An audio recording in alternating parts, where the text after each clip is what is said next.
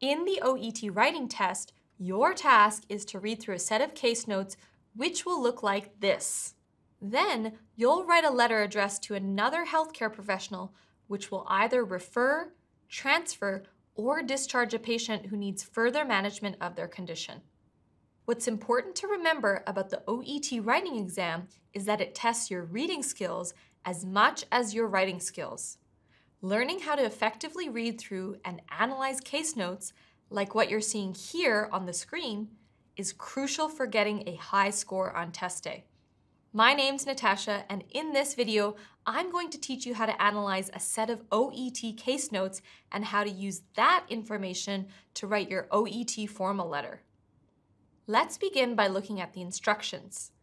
As you can see here at the top of the case notes, you have five minutes for reading and another 40 minutes to complete your letter. You can also see that for this specific task, you will be writing this letter as a school nurse, and your patient in this case is a six-year-old child. Now, here's an important tip. Before reading further, the best thing to do is to go straight to the end of the exam paper and look at the writing task. This is because there are certain details in the task that we need to keep in mind before reading the rest of the notes. So let's do that. Our task says, using the information in the case notes, write a letter of referral to Jonathan's GP, Dr. Gregory, to request his intervention. Address the letter to Dr. Gregory, Health Clinic, Adelong 3538. After that, this last part is the same for every OET writing test. It says, in your letter, expand the relevant case notes into complete sentences. Do not use note form. Use letter form. So, remember, reading the task first helps us focus on who we are writing to and what we are asking them to do. As you can see here, the reader of your letter will be Dr. Gregory, who is this child's GP or family doctor, and we are requesting intervention. We also notice the address here. We will need to put the address in the top left corner at the very beginning of our letter. Now, if you think about it, intervention is a very general term. At this point, it is not very clear what that is exactly. We will understand more of the bigger picture when we read the rest of the notes. And this is what we need to do next. Start reading the notes from the beginning to understand the details about this boy and why we are writing to his GP. So, back at the beginning of the case notes, we can see today's date and the patient's name, Jonathan Franks, and his age. We will put these details into the subject line of our letter. We then find the mother's name and their home address. But let's think about whether these details will go into our letter. The way we think about it is by remembering who we are writing to. We're writing to the boy's GP, who most probably has the boy's address, so we will not include it in our letter. Next in the notes, we find current medical issue. This is the actual reason why the boy was sent to the nurse by his teacher. Discharge from left ear earache. After that, we find his social background. The boy lives with his single mother who is 22 years old, no contact with father, and other details. Again, remembering who will read our letter, we will not need to use these details because the boy's GP should be familiar with his situation. As we read through the medical history, let's try and decide which details will be relevant. As a baby, feeding problems. This is probably not relevant to the present times between six months and five years old, frequent otitis media. This is relevant because the boy has an earache right now, so it's a recurrent issue. Then there are two hospital admissions with acute gastroenteritis in 2013 and 2016. This may or may not be significant, so we'll have to make a decision later when reading the treatment plan or request details. So what we are doing when studying the case notes is a kind of selective reading. We want to select the details that will be relevant for a letter, and we also want to identify any details that are not relevant. This is what the exam is testing. your ability to choose appropriate information. So we must read with purpose, with the overall understanding of what the letter should focus on. Let's continue reading these notes. Under recent medical history, here we see that the child has the same problem two months ago. He was prescribed antibiotics. You can see here that the nurse followed up, but the mother forgot to give him the entire course of the medication. We also have information about how these health issues are affecting the boy's academic progress. Frequent periods of inattention in class, learning difficulties, hearing difficulties, often tired arriving at school. Remember, we're writing to the boy's GP and we are requesting intervention. But what are the exact details of our request? Well, we'll find them here in the treatment plan. As a nurse, you're concerned about the child's well being and you're requesting treatment for his recurrent ear infection because it is now affecting his progress at school. You're also requesting that the GP involve a social worker because there are some signs that the child's mother is not looking after him very well. So on test day, you will spend five minutes reading the case notes and thinking about what is relevant and what is irrelevant for the person you are writing to. This is a very important decision because it will affect the assessment of the content of your letter. Looking at the test criteria, under content, it says here, all key information is included. You will lose marks if you do not include all the relevant information, so make sure that you understand the full picture and read the notes very carefully. And here, under conciseness and clarity, it says that you must be aware of irrelevant information. You need to consider if the information you have included helps clarify or if it is distracting and could be left out. You will lose marks if you include this unnecessary irrelevant details that the reader would not find useful. Great, we've now analyzed the case notes. If you'd like an extra set of these that you can use to practice and write your own letter, click the link in the description. There, you can download a free PDF containing a new set of case notes. There's also a space for you to write your own sample letter based on the information and writing task featured in these case notes. You'll also get a copy of the sample letter from this video. Let's start writing that letter now. We start by copying the address from the writing task found at the bottom of the case notes. We arrange it here in the top left corner of the letter. Notice that each separate part of the address is on a new line. First, the name of the person you are writing to. The next line, the name of the clinic. If you are given a street name, that would be on the next line. Then the town or area. Also notice here that in the case notes, you can see commas after Dr. Gregory and after health clinic. But here in the letter, there are no commas, no punctuation. This is because the letter is a different format to the case notes. The next thing to write is the date. In the exam, the date will be included in your case notes. You can use either British or American Standard date format. In the British format, we put the day before the month, while the American format starts with the month. Both are acceptable, but you need to be consistent throughout your letter. This means that if you are going to write a few dates, use the same format for all of them. So here on the case notes, the day is May 5th, 2018, which is very convenient as both the day and the month are the same number, so I don't have to worry about the format. Now, here on my letter, I've put the day, month, and year all separated by slashes. This is the most commonly used separator in the all numeric date format. You can also use a hyphen or a full stop, but a forward slash is most common.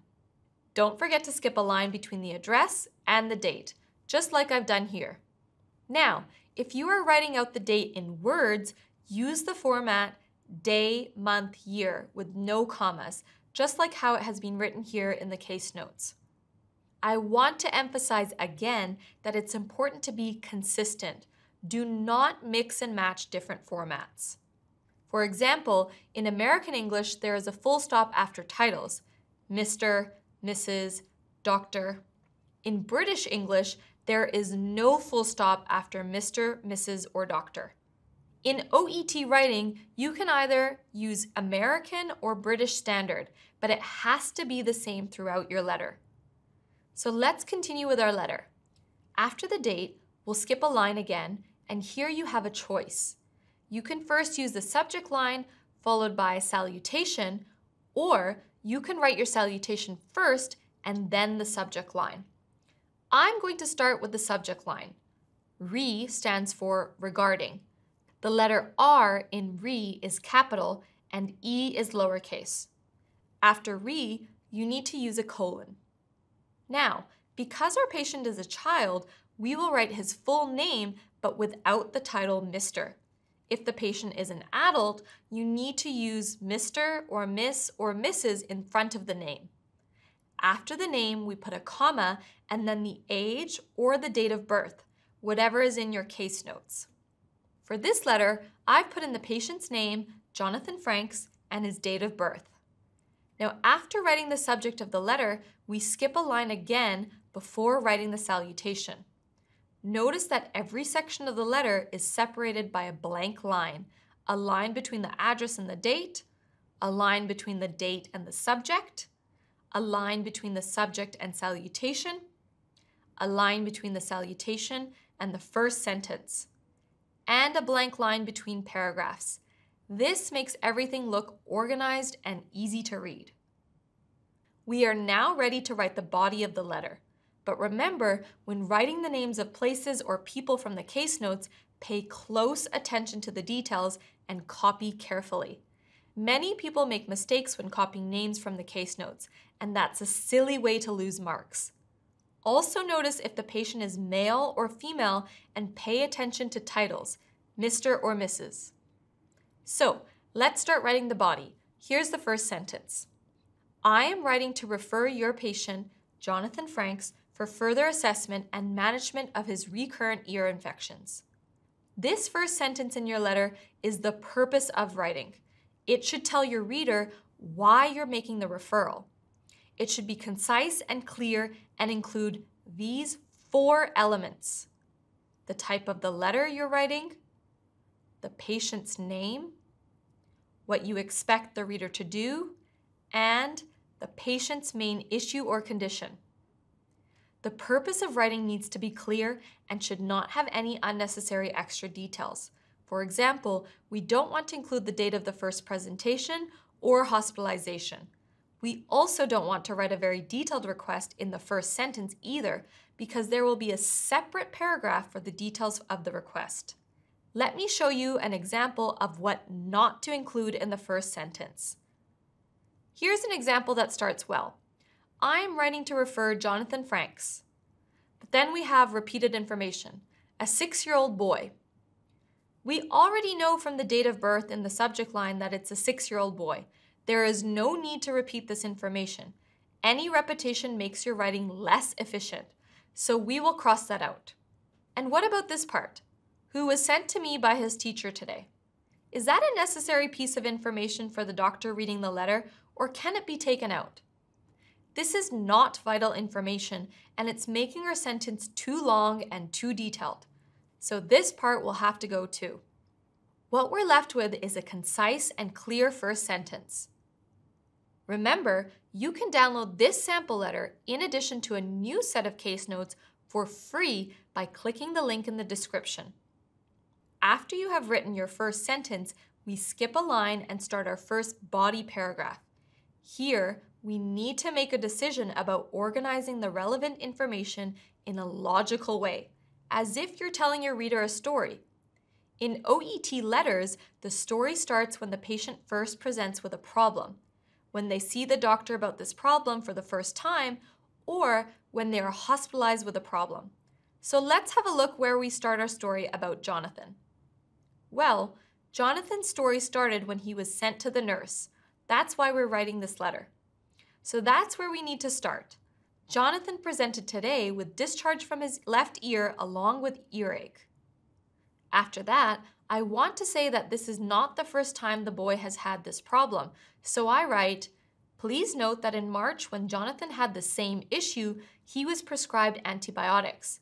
However, on follow up with his mother, Miss Franks, it became apparent that Jonathan had not completed the course of his medication. I'm using the words please note to draw my reader's attention to the fact that this is an ongoing issue.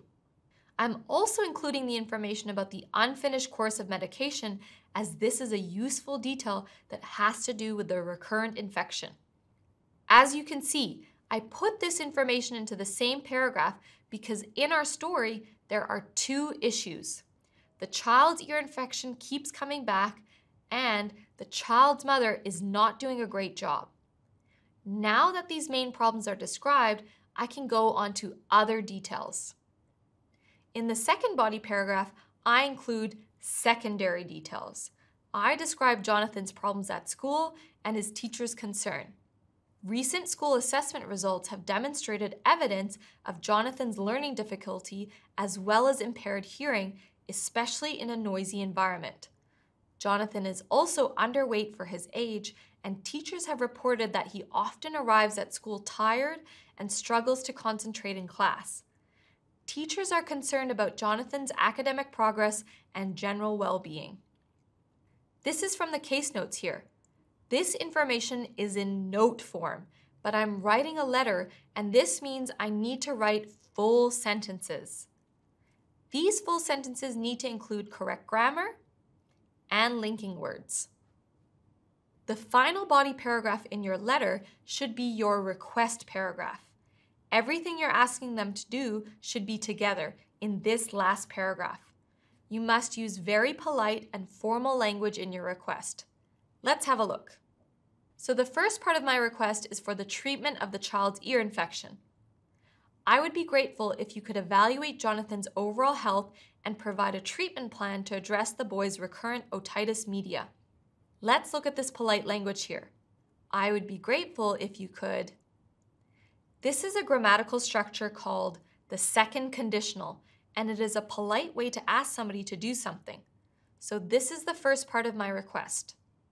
The second part is to ask for help from a social worker. So I write, the family may need assessment by a social worker to provide the necessary support to Miss Franks to help her care for the child appropriately and to ensure that any treatment plan is followed in its entirety. You can see from this sentence that the social work assessment is linked to the child's health as the two issues are closely related. Now, after you've written your request paragraph, you're almost there. The last sentence of your letter will always be the same. You want to tell the reader that they can contact you if they have any questions. Make sure to put this sentence on a new line, like a separate paragraph. Here it is. If you require further information, please do not hesitate to contact me. Notice that my language is quite formal here. Finally, we need to sign off. A formal convention is to write, yours sincerely, and don't forget to use a comma after that. On the next line, you write nurse if you're taking this exam for nursing or doctor if you're taking this exam for medicine. Put a full stop after nurse. And there you have it. Your OET letter is done. That wasn't hard, was it? As always, when you finish your writing, don't forget to reread and check everything carefully. You will find typos, spelling mistakes, and other problems, and it's better if you correct those problems before the examiner finds them. Remember, you can download that sample letter and a new set of case notes for free by clicking the link in the description. Now, it's your turn to apply what you have learned here and practice writing your OET letters. Don't forget to submit your practice letters to us at e2testprep.com for fast writing feedback by expert OET teachers. Good luck!